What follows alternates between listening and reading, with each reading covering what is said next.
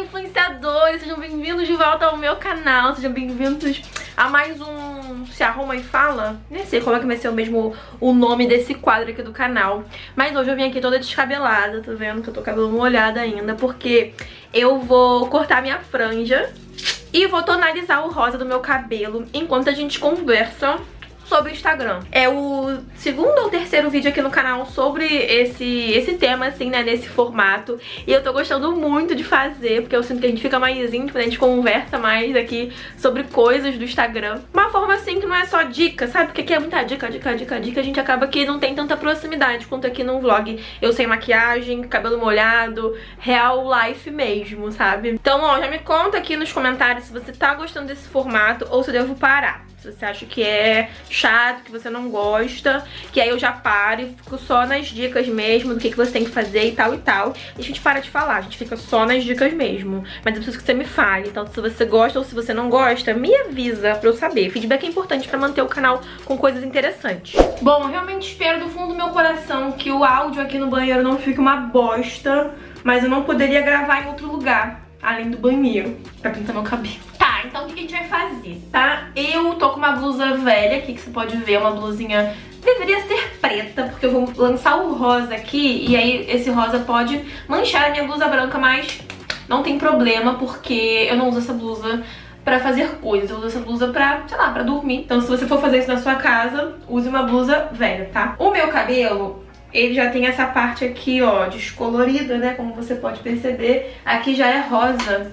E aí ele já pega aqui, mas aqui era loiro, né? Não sei se você sabe, mas já, já tem várias cores, na verdade, né? E aí agora eu tô na vibe do rosa. Então o que que temos aqui? Temos o meu tonalizante, tá? Isso aqui é um tonalizante, não tem amônia, não tem oxidante, é de boa, por isso que ele sai, por isso que você tem que ficar retocando. É, é o que eu uso é o Color Express Fan da Sala Online, tá?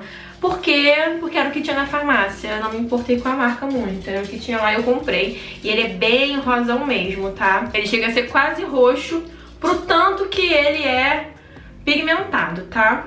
Tá vendo? Olha isso. Mas eu gosto porque no dia que eu boto... Ai, manchei minha mão. No dia que eu boto, ele fica muito forte.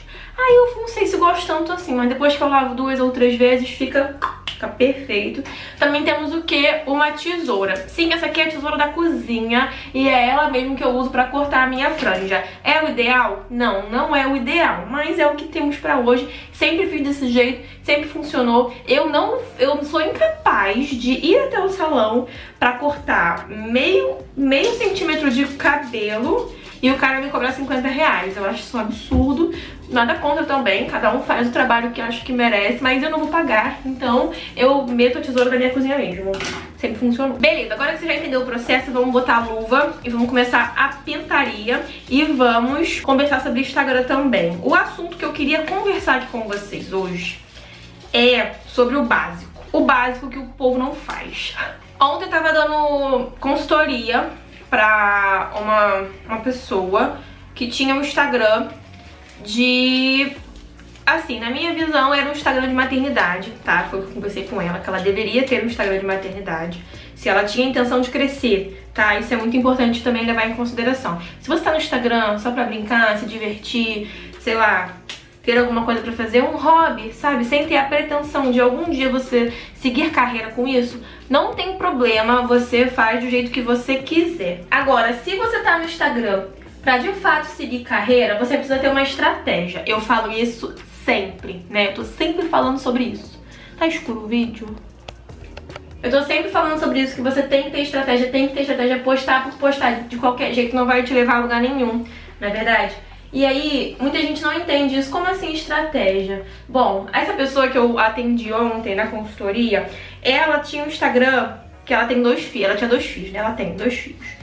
E aí, ela tava fazendo o Instagram de que ela queria transformar os filhos dela em blogueiros. Ela queria que os dois fossem, tipo assim, blogueirinhos mirins, sabe? O objetivo dela era fazer as crianças se tornarem como se fosse modelo, sabe? E aí ela tirava foto dos meninos de roupa bonita, fazia as coisas, ela fazia rios dos, dos meninos e tal, os, os meninos brincando e tal, uma coisa assim meio sem nexo, sabe? Os stories, ela nem aparecia nos stories. E quando ela postava alguma coisa, assim, algum template, um negócio desse assim, é, ela falava como se fossem as crianças postando, sabe? Como se tivesse crianças ali contando alguma coisa no, no Instagram. E daí eu já comecei a identificar os erros, gente. Por quê? Deixa eu te explicar. Quem consome esse tipo de conteúdo na internet não são crianças. Não é uma criança de 7 anos de idade, de 4 anos de idade que vai pegar o celular e vai começar a ver o Instagram alheio. Não é. Quem vê esse tipo de Instagram são outras mães, outros pais. Concorda comigo? Então, o seu conteúdo, ele não tem que ser para criança. O seu conteúdo, ele tem que ser para mães e pais. Vocês estão criando, né? No caso, ela estava criando o conteúdo errado direcionado ao público errado. Então, o que eu sugeri ela fazer foi uma coisa, vou te contar, mas deixa eu só tirar aqui as luvas e a gente vai lá pro escritório pra gente conversar melhor, porque eu já passei aqui o produto no meu cabelo, aí agora eu vou esperar uns 10 minutos mais ou menos pra tirar, e aí depois eu vou secar o cabelo e aí eu vou cortar a franja. O que eu sugeri a ela era fazer o seguinte, ela deveria, na verdade, criar um perfil de maternidade, onde ela mostrasse os três, ela e os dois filhos, porque daí ela ia criar conteúdo para outras mães, para outros pais, ia inspirar, ia ensinar como é que se veste, ia dar dicas de moda infantil, como combinar o look, como fazer pra criança parar de se mexer muito pra, na hora de se vestir, sabe? Dicas práticas para ajudar outros pais e outras mães a vestir as crianças. Então ela teria que aparecer, ela teria que falar, ela teria que se expor. Já começamos daí, porque ela nem estava aparecendo, só mostrava as crianças mesmo, achando que outras pessoas iriam se conectar com aquilo. Não iam. E o perfil dela não tinha nada de dica, era totalmente lifestyle. Se você tem um perfil lifestyle, cara, não tem motivo pra pessoa querer te acompanhar. Não tem o porquê da pessoa parar o dia dela pra assistir um story teu, pra assistir um Rios teu. Não tem motivo, sabe por quê? Porque ela não te conhece. É muito mais fácil você conseguir engajar um Instagram que ensina alguma coisa, tipo o meu. O meu Instagram, eu estou lá o tempo inteiro te ensinando sobre dicas de Instagram. Todos os meus vídeos são sobre isso, todos os meus conteúdos são sobre isso. Isso não me impede de mostrar um pouco também do meu lifestyle. Então eu vou, eu tô, sei lá, tô no restaurante, eu tiro foto do prato, falo um pouco do restaurante, por que eu fui lá. Eu posso fazer alguma coisa sobre, sobre isso, sabe? Eu não não preciso deixar de mostrar a minha vida se eu quero ser uma blogueira que ensino algo pra alguém.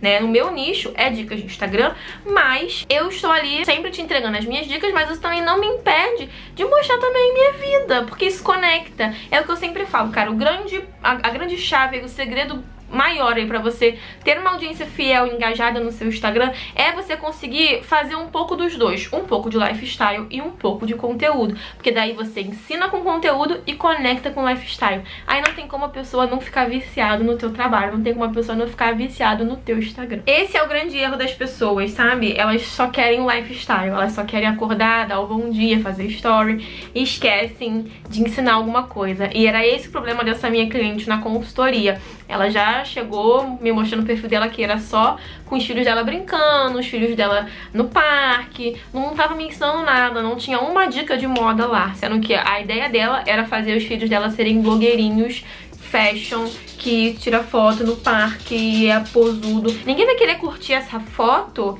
engajar nessa foto, fazer pergunta, compartilhar com outras pessoas, se não tiver uma dica ali, você tá me entendendo? Assim, pelo menos nesse começo, eu acredito muito nisso, pelo menos nesse começo. Toda blogueira que hoje em dia é uma blogueira de lifestyle, ela teve um começo diferente. Ela começou aí, às vezes, na moda, dando dicas de moda, fazendo rios de moda, vídeos de moda, dando dicas nesse sentido.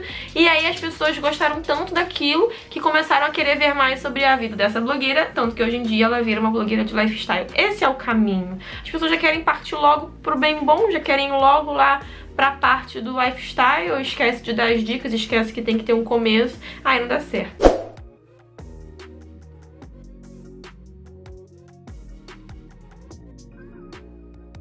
Veio aí, olha essa cor. Não sei se o vídeo vai estar dando pra ver. Deixa eu deixar Olha essa cor.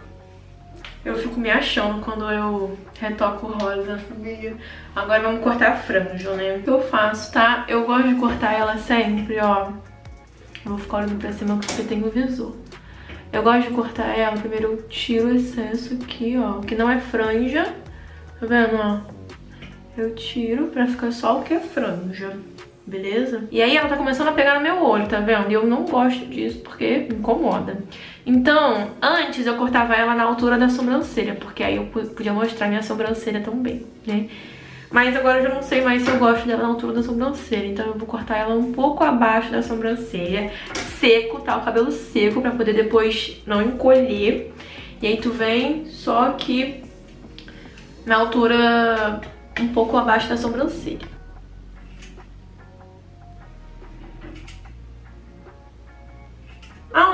Gente, olha lá. Pronto, resolvido, olha lá. Perfeito, ó. Não pegou muito na sobrancelha. Poderia ter cortado um pouco mais. Acho que vou cortar um pouco mais. Agora sim, caralho. Agora sim. Olha lá. Ai, a pior coisa é porque quando você corta, aí o, o cabelo que você corta entra dentro do teu olho. É péssimo. Agora eu vou finalizar o cabelo com Babyliss. E vou modelar a franja melhor, né? Porque assim ela fica igual um índio. E aí volto aqui pra gente continuar conversando. Voltei, voltei com o resultado. O que, que vocês acharam? Comenta aí. Eu achei lindo esse rosa, né? Só que ele fica muito forte, tô vendo, nos primeiros dias. Aí depois que eu lavo, aí ele fica mais bonitinho. Mas eu também gosto dele assim, mas eu prefiro ele mais fraquinho um pouco. E a franja também, cara, ela não fica reta, né, 100%. Ela fica um pouco torta, mas também não tem problema. Não fica perfeita, mas ninguém é perfeito. É isso que importa. Mas aí, voltando àquele assunto que a gente tava falando de... Não sei o que mesmo. De você já querer pular logo pra parte do lifestyle, esquecer a parte do seu conteúdo, eu queria dizer também uma coisa, gente. Eu também já fui essa pessoa. Eu também já fiz muito isso. Antes de eu entender essa parte do jogo aí do Instagram que muita gente não sabe, antes de eu de eu pescar essa parte aí, eu também errava, sabe? E aí, a, partir do momento que você entender essa parte do jogo, essa, essa parte aí do game, do Instagram, que se você consegue criar um conteúdo que ensina e juntar com o seu lifestyle, aí você voa. Mas enquanto você ficar só patinando no lifestyle, querendo ser a Virginia Fonseca, aí você vai ficar sambando no mesmo lugar sem sair do lugar, entendeu? E eu também já fui essa pessoa antes de eu entender o game, antes de eu ter esse start, né? Se você rodar aqui, até no meu, no meu canal mesmo do YouTube, se você rodar aqui os vídeos mais antigos, eu falava um pouco sobre tudo, entendeu? Eu queria ter um canal no YouTube que que, que fizesse sucesso, sabe? E aí eu começava a falar de um monte de coisa. Tipo, quando eu me mudei pra esse apartamento, eu filmei vlog, montando a minha árvore de Natal. O que, que isso tem a ver com o meu conteúdo hoje? Nada. Eu só falava da minha vida e isso não é o suficiente pra fazer uma pessoa clicar no vídeo pra começar a assistir. Lá no Instagram é a mesma coisa. Quando eu comecei lá em, sei lá, 2014, 15, não sei, eu falava também de tudo. Falava da minha vida, mostrava meu dia a dia. Só que ninguém tinha interesse em assistir isso, em, em consumir esse conteúdo porque ninguém me conhecia. A partir do momento que eu defini o meu nicho, que é dicas de Instagram, carreira na internet, quando eu defini isso, eu passei a entregar esse tipo de conteúdo, eu passei a ajudar as pessoas dessa forma. E aí elas tinham um motivo pra vir assistir o meu canal, elas tinham um motivo pra ir lá no meu Instagram consumir os meus conteúdos, me acompanhar. E aí depois eu percebi que eu poderia continuar falando sobre a minha vida também, mostrar minha casa, mostrar, por exemplo, esse vídeo, meu cabelo. E que eu sabia que as pessoas ainda assim teriam interesse se eu pudesse entregar algo além do que só um pouco da minha vida. Eu, eu, eu, posso entregar também as minhas dicas junto com a minha vida. Esse é o segredo. Esse é o start aí que muita gente ainda não pegou pra criar conteúdo na internet. Vocês estão muito focados em mostrar a vida de vocês, o jeitinho, que vocês estão fazendo, a hora que vocês vão dormir, a hora que vocês acordam. Só que ninguém tá nem aí pra isso, porque as pessoas ainda não te conhecem. Bom, gente, esse foi o vídeo. Agora eu preciso... Cadê meu relógio? Agora eu preciso ir no shopping, porque domingo é dia das mães e a Imagina, eu ainda não comprei o presente da minha mãe. Então eu vou lá no shopping agora comprar o presente da minha mãe, depois eu volto pra casa, vou editar esse vídeo e vou postar aqui no canal. E aí você vai, já vai estar assistindo esse vídeo. Então se você gostou dessa reflexão, se te deu aí mais um start, mais um insight, se eu fiz você pensar aí em qual vai ser os seus próximos passos aí no seu Instagram, comenta aqui embaixo, deixa aí nos comentários pra eu saber. Vai lá no Instagram me seguir também, arroba. Se inscreve aqui no canal, deixa o like no vídeo, deixa sugestões aqui também do que mais você quer que eu converse aqui com vocês qual a sua dificuldade, como você acha que eu posso te ajudar no seu Instagram, na sua carreira na internet. Deixa aqui embaixo nos comentários que eu vou ler e vou te ajudar, tá bom? Beijo!